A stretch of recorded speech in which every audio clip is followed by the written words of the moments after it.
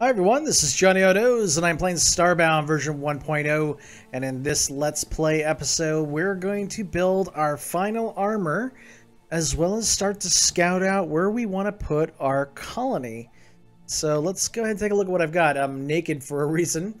Um, I've got all of the uh, second to last tier armors listed out here, so we can take a look at what the differences are.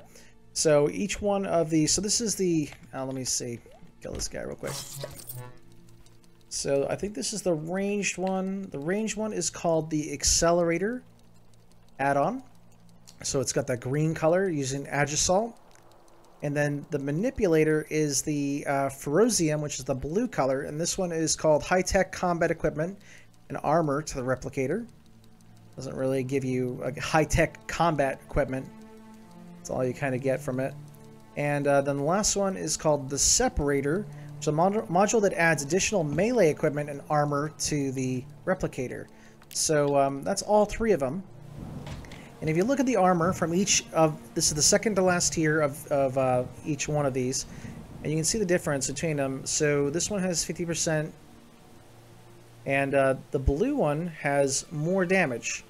The top one has more health. So purple gives you more health, blue gives you more damage, and obviously the green color will give you additional energy.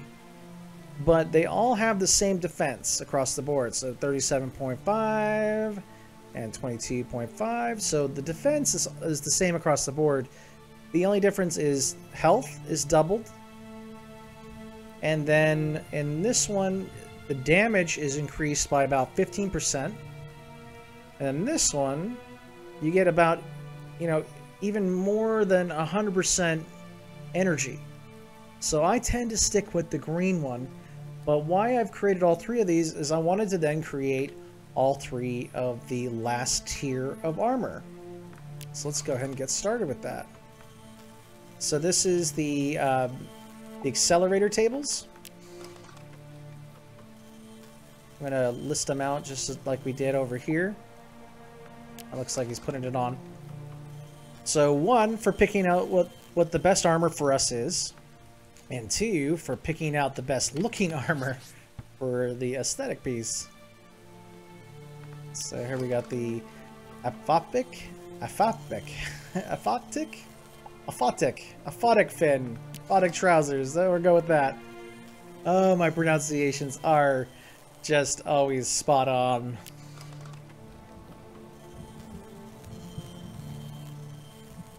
Alright, one more. We should have enough uh, Solarium for all of this.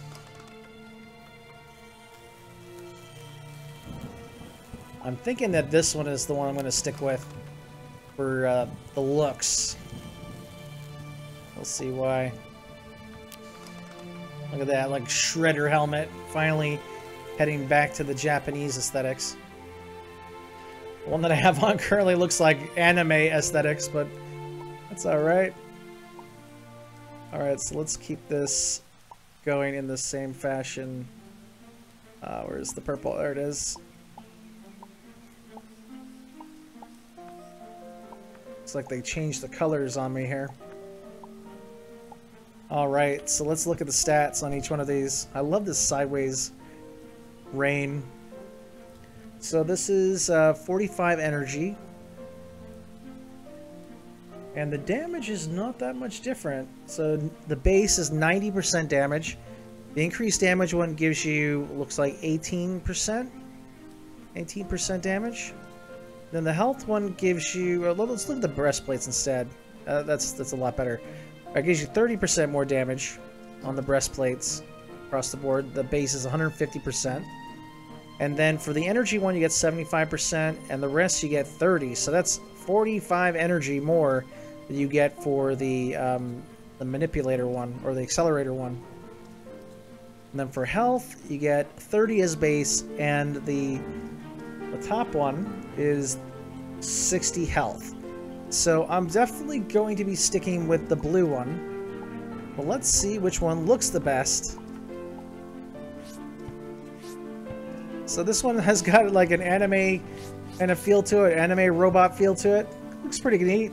It's got like the little glass helmet let's see what this one looks like. What?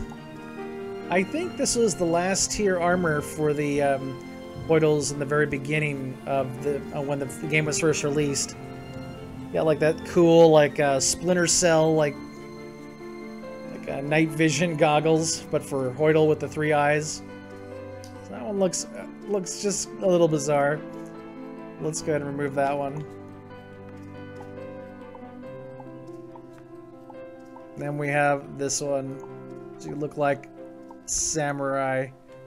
Purple samurai of death. And it actually goes well with these wings because the little emblem at the top is the same color as the wings. So it looks pretty cool. I think I'm going to stick with this. Kind of the black, purple, and gold look. That'll be cool. I think this is what we're going to roll with. Uh, just to let you know, uh, the weapons that you get, so you get three different weapons for it. You get an Aegis bow, which I guess is a, a, a, better hunting bow? So let's see, what's the requirements for this? Not too bad. So let's build it. This is the first bow I've ever made in the game so far, which happens to be the last bow. Uh, for this one, you get a Ferozium staff. Looks like we're gonna have to build another battery. Let's see. Yeah, it looks like we have to build another battery here. Yep. Let's see that.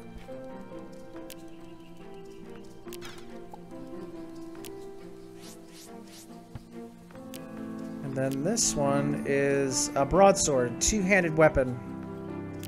Special is flip slash. Let's take a look at those. Alright, so here's the staff. Let's do the staff first. Got like a ruby tip to, to it. Whoa, that's kind of cool, actually. Let's um, let's beam over to that the high level planet and see how these do. Huh? We're gonna find something to fight.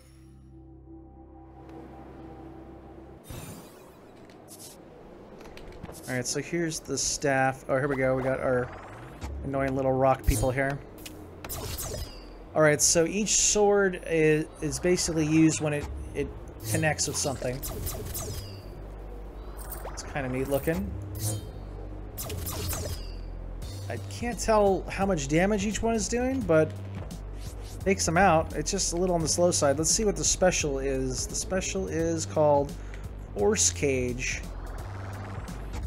I don't know if this is something for you to wrap around yourself, but it looks like you can't get around that thing. Let's, I guess it just blocks the way of uh, something that's fighting you. Let's see if it does damage. No.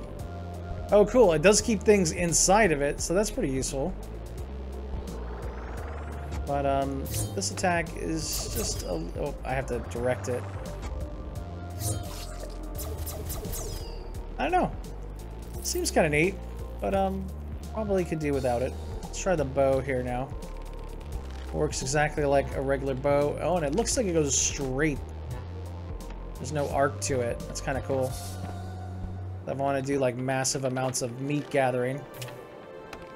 It's about half damage to one of these rock critters.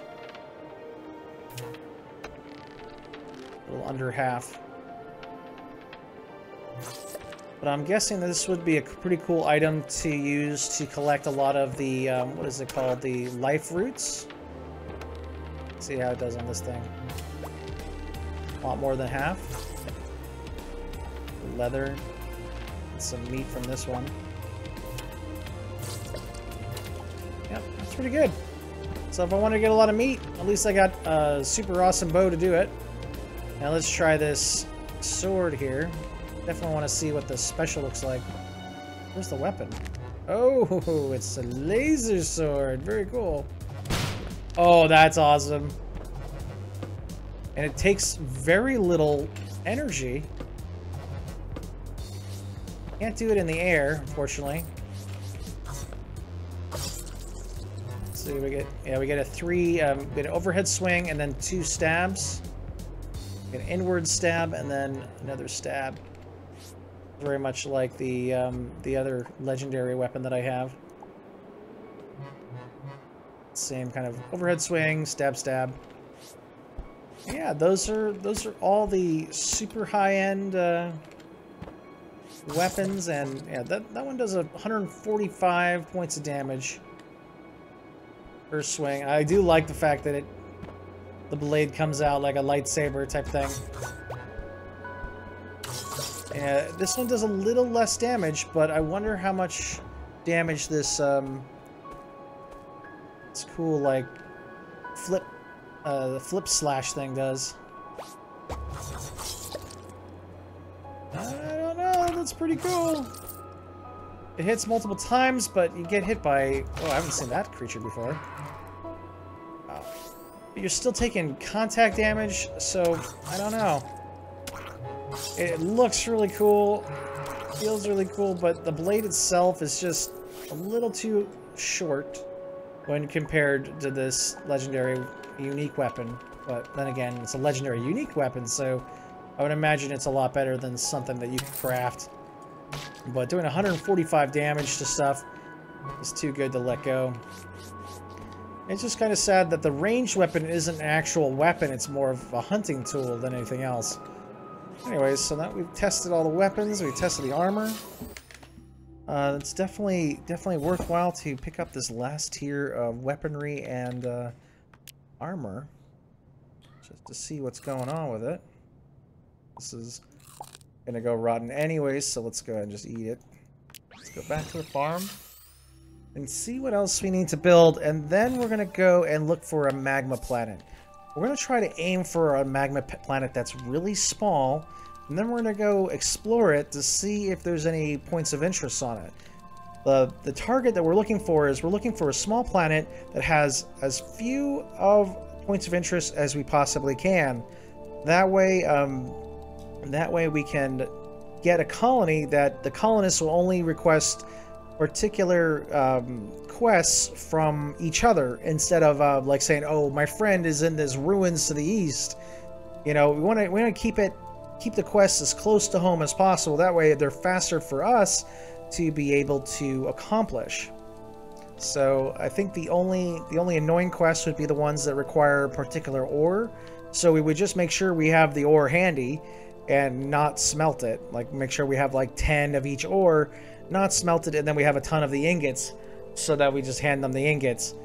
Um, and then, of course, the farming ones uh, will be difficult uh, until we get our, our high-end farm going, which we'll have to collect a lot of Durasteel for, for the sprinklers. And I think that was the item that I was talking about. Let me take a look. So sprinklers, yes, so gold is a component of the sprinkler. So gold and Durasteel are important. As you can see, my Durasteel cache is a little bit low. Doesn't look like I've collected a lot of gold either, but um, we focus on those two components or those two resources, we should be able to acquire them relatively quickly. So let's go and spend some money. Got 48,000 pixels right now. Still haven't died, so that's nice. Uh, there's a high probability that I will die on the lava planet when we start building, just by getting melted away or me, me panicking and then falling into the lava. So there's a good possibility of that happening. So let's um, let's go ahead and drop all the stuff that's in our resources tab here, as well as any upgrade modules that we might have. So let's go ahead and do that. Uh, any upgrade modules? There we go. We are completely done now with the MM. I upgraded the whole thing. So the expansion slot. We have wires, we have paint. Uh, we're, we're really raring to go there. Um, and we can probably drop this armor that we're not using at all. As well as these... I'm going to keep the bow just in case I want to start doing a lot of uh, hunting and getting a lot of metal. We got our sword, we got our missile launcher, and we have our sniper. That's our kind of generic three weapons that we have right now. It's funny that I picked a character that does a lot of, uh, you know, uh, energy related and range related uh, you know, attacks, but I'm, I'm kind of sticking to the sword, so I might actually swap this armor out uh, for the uh, the other one that I just threw in. But either way, let's go ahead and start looking for a small a small magma planet. So this is a volcanic planet. So we've got a, a whole system of fiery, um, fiery stars here. All right, this is looks like a very large, those 6,000 sectors of magma here. So let's um, keep looking around here.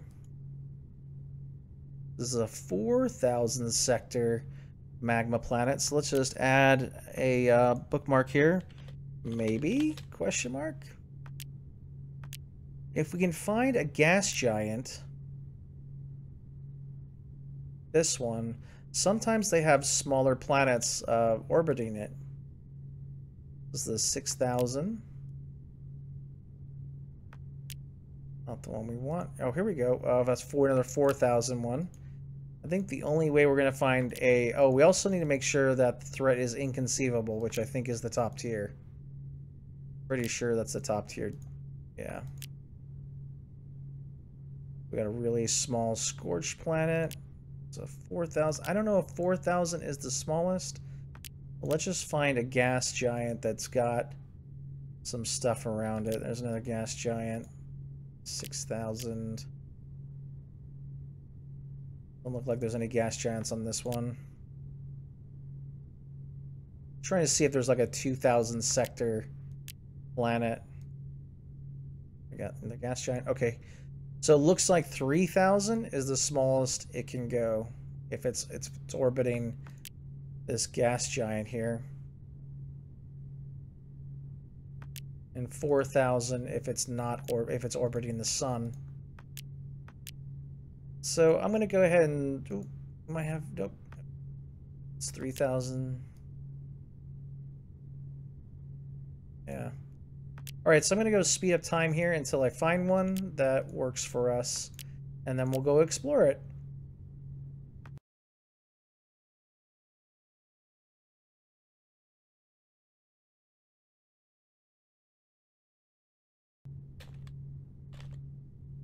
All right, so we found a planet that I'm going to take a look at. Um, I haven't really had, I haven't found a planet that's orbiting a gas giant that is magma. Um, a lot of the volcanic planets that I found that were were orbiting a gas giant, had uh, not just luminous rain, but it had like meteors and gigantic meteors. I definitely don't want to have to deal with that when uh, building a base. So let's head on over to this planet. And then um, I'm going to go ahead and get ourselves a boat. And we're going to check, just check for any um, points of interest on it. And then uh, if we don't find any points of interest, then we're definitely going to start building. So let's fly on over to this planet. And uh, it was funny, like my uh, my engine got upgraded halfway through that and uh, it went from 350 to 264 uh, fuel to be used. So it's really nice to have that engineer on board to lower the amount of fuel you use. So let's see what this looks like. Get something to eat while we travel on over there. Running a little bit low on food here. I think that was the last bit of food that we can actually eat. The rest is just kind of stuff waiting to be cooked. I mean, we can eat that, but we'd have to eat everything to get fill, filled again. Alright, home sweet home. So let's head over to the hub and buy ourselves a boat.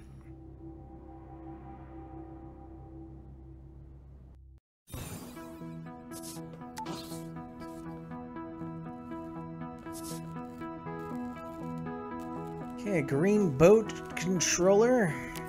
25,000 pixels. Zoom on back to the ship. Then let's see if we, uh, actually, I'll just go ahead and, uh, go ahead and stop this episode here. And then when we get down there, um, or on the next episode, we'll go ahead and search the planet and see what we can see. Oh, looking good so far. Getting some chiller. Kill this guy. Just don't want to get pushed out into the lava here. Yep. That's all lava there, guys. So let's um, put this here. Get on our little boats. Away we go. All right, folks. So this is the end of this episode. Uh, thanks so much for watching. This is Johnnyonoes playing Starbound 1.0. In the next episode, we'll go ahead and search this planet and see if uh, there's any points of interest. If there, if there are, then uh, we'll have to find another planet. And there was a couple that I saw. There were 4,000 sectors. So, um, so yeah. All right. I'll see you in the next episode. Thanks for watching.